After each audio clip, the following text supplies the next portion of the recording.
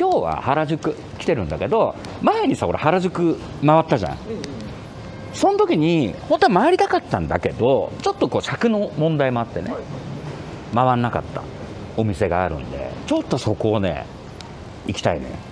大体さ俺らってさ革ジャンブーツやるでしょ？ね？まあ当然ウォレットも持ってますよ。はい。だけど普段身につけるもう一個ねレザーアイテムあるわけ。ね？一年中つけてるレザーアイテム。俺忘れてたの。そのレザーアイテムの専門店にね今日来るから。行くから。これから。楽しみなんだよね。2階にあるんですよ。行きましょう。こんにちはでこんにちは。ありがとうございます。ご無沙汰してます。ありがとうございます。とりあえあれ？いいっすか？すいません。なんか自販機みたいに出てきましたけど。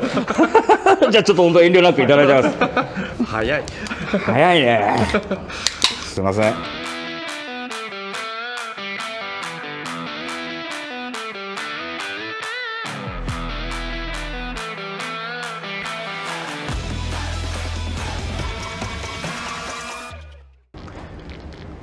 昼間の昼間のバートアイザーいいね。いいですねいやいやいや。ちょっと今日いろいろ見させていただければと思うんで。はい。はい。ちょっと見て。いやーすごいっすね。この多分普通の人って今までの人生の中でだよ。こんなに一気にベルト見たことないと思うんだよね。本当っすね。うん。それだけぐわーっと揃ってるからさ。うで当然ね俺もそうほら。んへえかっこいい、で大体俺さ T シャツも長いけど、うんうん。でアウトしちゃうからさうん。だけどこういうふうにやったりもするんはい。ちょっと出す。ちょっと出すっていう、なんでよく根性付きのやつとかを、うんうんうんうん、えやってるの？いいっすね。いいでしょ、うん。でライトニング編集部は、大体このヴィンテージワークスさんのん。ベルトをつけてる人が多い、そうですね。僕もつけてますね。そうでしょ、はい。使い込むと、はい。これ見てここに置いてあるやつ。これ俺が使ったやつ。え？これこれ。ほら写真。ああこれ前。ずーっとつけてたの俺。いはいはい、ね？前のライブの時になんか紹介しましたね、うん。確か。だから今ちょうどこれを使い込むあ。写真ね。写真、うん。えー、いいですね。いいでしょ。だからさ本当に多分ねこれぐらいの種類があるんでうん、うん絶対に自分の好みのベルトって見つかると思うわけよ。うんいやそうですよ。で当然サイズもいろいろあるし革の色もあるでしょ？うん。ね？太さもそれぞれ。そう太さも。バックのデザインもすごいですね。バックルのデザインもさいろいろあるじゃん。うんうん。これ結構定番だけどもこういうのもあるし。でこれシンプルなやつとかね。おこういうのもあるしおいいですね。あね？好きかもこういう。こういうのいいよね。そうそうそうそう。だから日本針のやつもあるしこの1本はいはい。日本仕様もあるしバックルあとこういう普通のいわゆるなあこういうタイプもあると。だからもう当然さ、うん。まあ、今までねモヒカン小川のレザーチャンネルの中で革ジャンブーツうん。いろいろ紹介してきたけど、一番ね1年間うん通して使える革小物って実はベルトなんだよね、お確かうん、に確か夏でもベルトするでしょ？にする。ね。でだからこれはやっぱベルトに手を抜きたくねえなっていううんうんのもあるじゃん。うんなるほど。確かに。ね。だから大体俺はもう必ずっていうかさ絶対にヴィンテージワークスのベルトをしてるんだけど、うん。まあこれぐらいの種類があるんでねちょっと色味赤いのがいいなとかってあればあるし、うんうんうんでさっき見せたみたいなそのこう鋲が打ってるようなスタッズが打ってるようなものもあるしね、うん。こういう風に。で今俺が使ってるやつもそうだねほら。うんなんか根性がついたちょっと。うん。でちょっと細身のやつをしてるんだけどうんうんうん。ちょっとネイティブアメリカンっぽい。そうそうそうそう。スタンプっぽい。まあこれよね。これこれこれ。おおうん。合うでし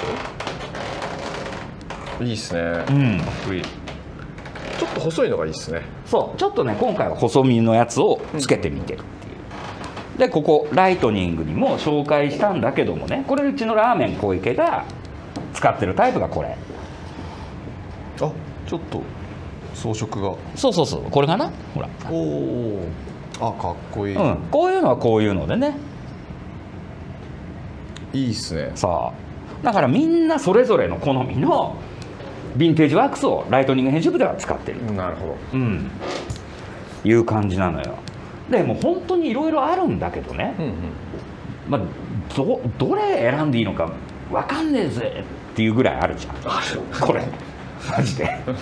あるよね。まあ俺が大体選ぶ基準っていうのはまあちょっと派手めが好きだったりロックっぽいそのクラッシュ系のデニムも履くからまあこういうコンチョだったり鋲が打ってあったりね、はい。スタッズが打ってあってる打ったものを結構俺履くんだけどうんうん。あとは茶芯おおまあまあそうですね。うん。この列が茶芯になります。わかる？横を見るとこれ茶になってるでしょ。あ本当だ。はい、ね。これ系。だからこれさっき俺がずっとつけてたやつね。もう茶羽ゴキブリみたいな色になってるわかる色がするやつね写真っていうかもう茶っぽくなってますこれはねもうずーっと使ってたから。でここもハゲてさ。いやこれすごいっすよね。こうなってるわけ。ってこうなるんだそうそう。だからエイジングベルトのエイジングも楽しみたいっていう人は俺のおすすめは茶芯うんうんうんね、だけどやっぱり色変わってほしくないんだよねっていう人はやっぱりこう浸透紙のものもあるんでね、あ横を見ればうん、わかるんですね。そう。断面というか。うん。そうなのよ。でねこれが面白いのが全部にですよ。うん。ヴィンテージワークスさんのベルトにはこうロット番号が入ってるほう。うんうんね？うん。一本一本全部にだよ。あはいはい。そう。だからちょっとこう所有欲も。確かに。あじゃあ全部番号が違うってこと？全部違うんです。へだからこれ見ると今じゃあ創業以来ねえうん。何本作ってきたのかっていうのも分かるわけよ。あそういうことそうそうそうそう。0001から始まってるからね、え。うん、あじゃあこれは？少なくともこれは21万5017かな？うんうん本命うんえあ型えっと。型関係なく一個一個についてるのこれシリアル番号がロット番号。ね？あじゃあもうその20そ万本作ってる。うだからこれが例えば10万本。うん。10万台。うん。とか例えばそう3万台とかさ、数字によってさ相当昔に買ったでしょみたいな。はいはい。そういうのも分かるわけよ。確かに。100番台とかね。10番台とかもあるってことですか、もうある。今残ってればね。あすげえ。だけどだから初めて例えばさ会った人、うん。同士。え？ベルトヴィンテージワークスなんですか？俺もなんですよ。つった時に何番ですかっていう会話が生まれる なるほど。そうそうそう。そういう楽しみ方もあるっていうね。面白。うん、でね革ジャンこだわったりブーツこだわったりっていうのはもう当然わかるんだけど、うん。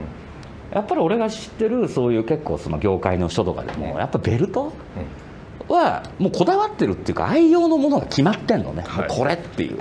それをもう長く使う。毎日ベルト変えたりしないあんまり。うん。だから本当に気に入ったものをずっと使う。だからそのヴィンテージワークさんのやつっていうのはすげえ丈夫だから。で革のエイジングもいいから、うん。俺もだってノーメンテですよこれあそうっすよ。そう。オイルも上げないし、まあ、履いてるからうん。多分油脂分も入るだろうしほぼ外さないんだよね。うんうん同じデニム履き続けてたらもうずっとつけっぱなしじゃない確かに確かに。さもうこういう状態ってことですよね。あこういう状態でそのままにしてるんでね、まあ、洗う時はまた別だけどデニムを、うんうんうん。そういう感じでねちょっとやってるんでいやここだったらここでねお気に入りのものが見つかんなければそいつベルトに向いてない。だからもうベルトのないパンツを履くんだったらいいですよ。ベルトするんだったら絶対にあるから。バチーンとお気に入りのやつが。ね？絶対ある。絶対あるの。でエイジングサンプルもさ俺とかねラーメン小池とか、まあ、歴代の編集部員以外でもだってこういうここまで使うってすごいじゃない？これやばいっすうん、こういうのもあるわけ。だからそういう楽しみ方もあるっていうかこのお店のねエイジングサンプルを眺める喜びっていう。はい。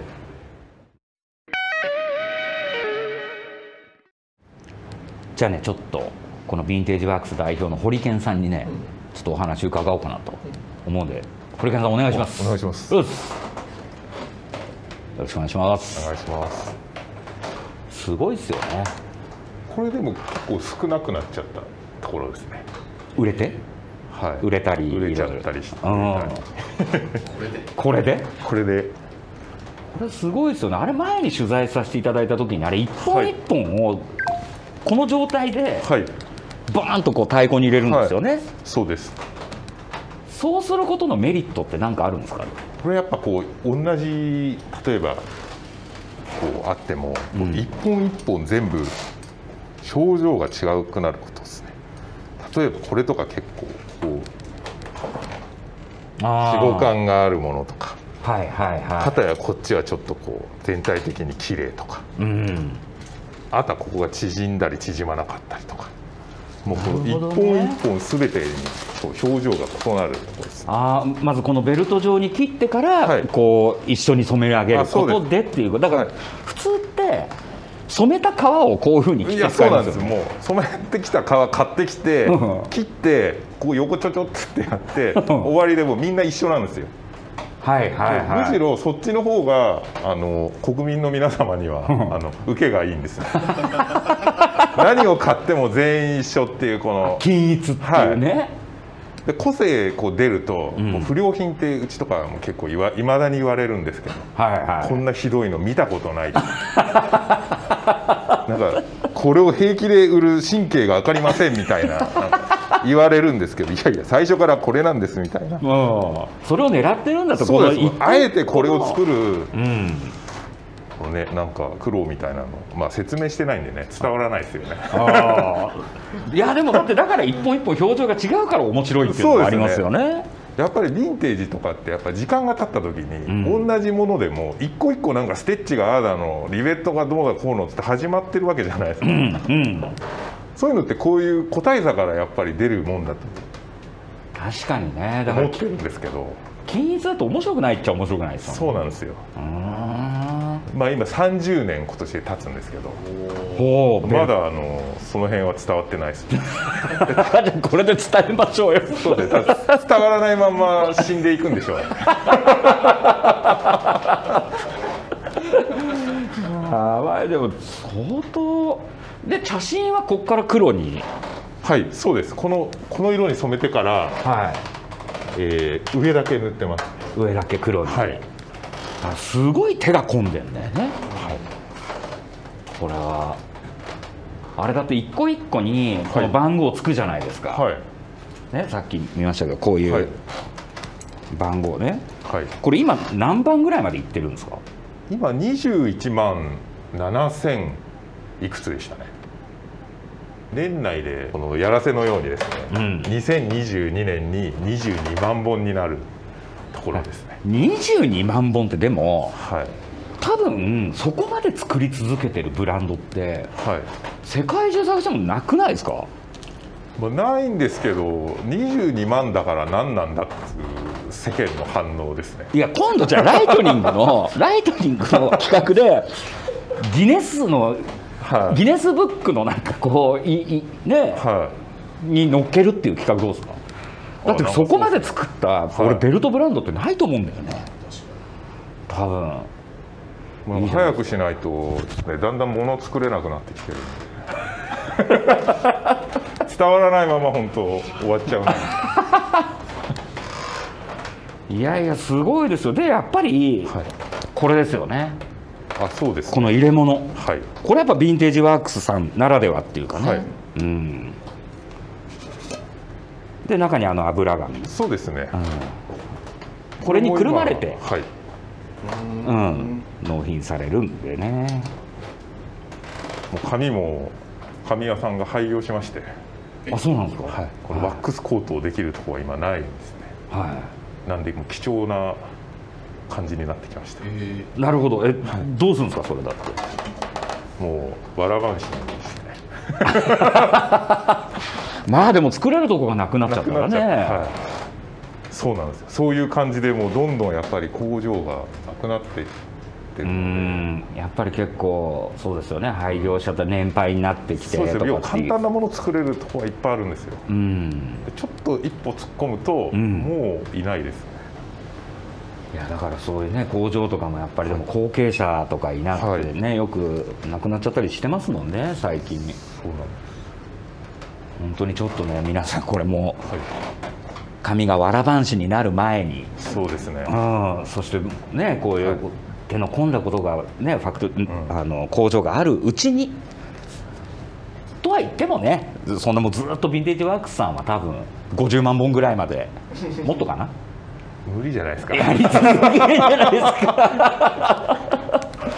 ねえもう本当にこのホリケンさんの体が続く限りは多分ベルトを作り続けるんでねその間にぜひちょっとここに来てもらってこういろいろと見てもらえたらなと。いそうですね、うん。まあ結構このバックルとかも結構こだわりが実はあって、そうですよはい。でうねちはもうこういうどこにでもありそうなデザインでも、ん。必ずその型を作り。オリジナルはなわけですよね。これそうなんです。オリジナルですねあー確かにねでもオリジナルの型作るっつったらそれ原価償却もしなきゃいけないあそうですね。はい。作り続けなきゃいけないってことですからね、うわだからこの革だけじゃなくてバックルにもそうですね。そういうこだわりが。でこういうこうビニールかぶってるものっていうのはこう銀メッキを通常の10倍ぐらいつけるんですよ。うーん。で昔こうやってるとこはなかったんですけど。は今はね結構パクられちゃって。いへえでこうなぜビニールかぶってるかっていうと、ん。あの銀とみたいにこう空気に触れてると黒くなってきちゃうんあ酸化しちゃう、はい、酸化しちゃうんで。なるほど。だからこういうふうにコーティングしてるんですねかっこ悪いんですけどうんこれが一番、まあ、防げる方法かなっていうほどね。これもやっぱ黒いと不良品って言われて検定されちゃうんでこうなることを意図してメッキなんで、うん。はい、だから使っていくうちに酸化してだんだん黒ずんでいくっていうのも楽しんでもらいたいいうこと。品って言われないようにあの一般の金具っていうのは全部こうクリアスプレーみたいなのを吹いてこうコーティングするんです色が変わらない。ああなるほど、空気に触れないようにっていうとあれですけど、うん。はい。それをあえて触れたら変化するようにはい。してあると、はい。違うもうむき出しですね。皮もこれも。あ色も落ちるしバックルの色も変わる。あはいはい。へえ面白いですね。まあ聞くと話を。そうですでまあこれの銀メッキがつく前っていうのがこの真鍮の生地ですね。はい、はい。これに銀メッキそうですだこれ銀色なんですけどもともとはこの真鍮でまあこれが剥げてくるわけですね、うん。メッキなんで、ん。そうするとこの金色が出てくるんですけど、それもかっこいいですよね、はこい、でなんか真鍮は剥げないって言ってる人が結構いて、真鍮は剥げないんですよ。真鍮真鍮ですからね、メッキをつけたら剥げてくるわけですね。はいはい。その上が剥げてこれが出てくることですよね。はい。それはそれでだから、はい。革もエイジング楽しめてこのバックルのエイジングももエイジングするように。前に俺が使わせていただいたやつを、おおこれもだってそれ、あそうですね。こういう真鍮がやっぱり下から出てくる、下からガーッと出てくるってすれてね、こうやって、うん、で結構このアメリカのスタッズうん。で、ニッケルっていうあのピカピカの銀色か、はい。真鍮生地かっていう2色しか存在しないんですよ、あそうなんですか、はい、それで大体あのスタッズベルトっつって世に出てるものってそのアメリカのスタッズに関してはその2色を使うんですけども、うん。うちは必ずここにひと手間加えてはい。ちょっと高度なメッキを錆びた感じになるものであったり。はいはいはい。ぶしてみたり。ちょっとねなんかそういう雰囲気ありますもんねそうですね、うん、それを1個入れることによりこう使うと、うん。こういう金色真鍮の生地が出てきたりする、うんこれ剥げるとこと剥げないとこがあるっていうのがまたこういいですよね。そう均一じゃないっていうのが剥げ方がね。人によっては剥げない人もいますし、うん。そこはねここがなんか楽しいとこっていうかね。はい。俺だから今聞いたらがぜんこれいいなとはい。ちょっと次はこれに挑戦してみようかな。そうですね、うん。これがお店の限定なんで。これがね？はいあこれはもうこことうちのオンラインでしか買えないです。真鍮バージョ真鍮バージョン、はい。メッキ前ってことですよね。ンそうですね。ベースっていうか。はい。これはこれでかっこいいですけどね。まあその辺もね全然伝わらなくて、うん。あんまり売れ行きは良くないですけど。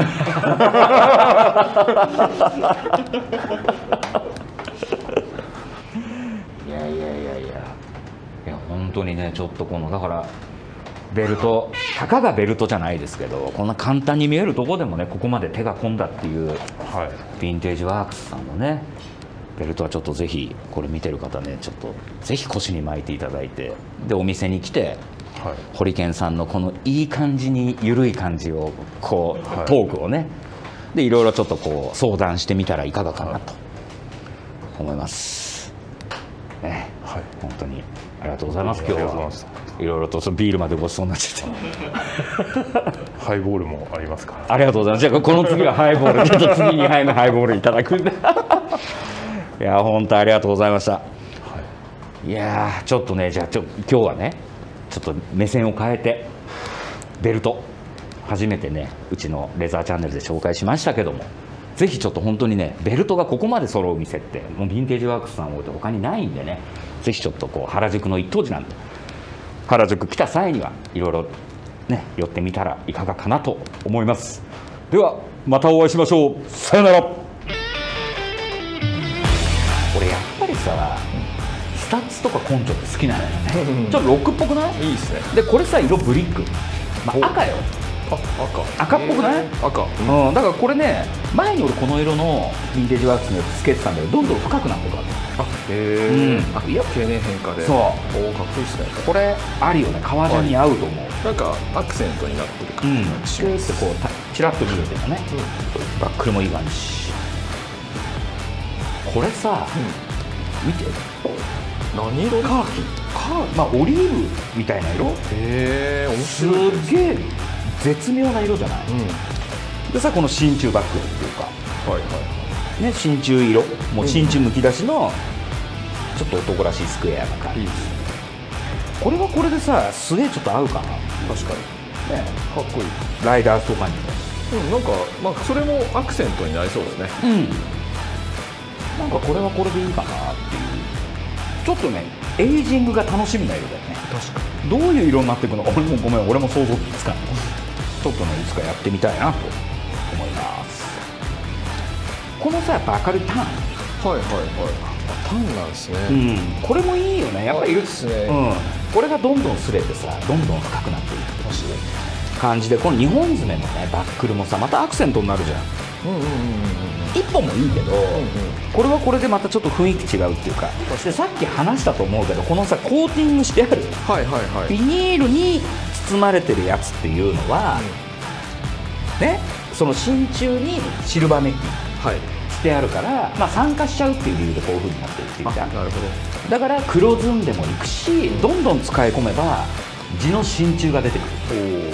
ちょっとねなんつうんだろうこう使い倒したくなる。確かに。ベルトよね。うんうんうん。なんかエイジングいろいろ楽しめそうな感じなんで俺ねデニムとこの革の色好きなのよこういうコントラスト。はいはいはい。でブラックの革ジャンに合わせても全然おかしくないんでこれ。まあそうですね。うん。いいと思います。これはねおすすめ。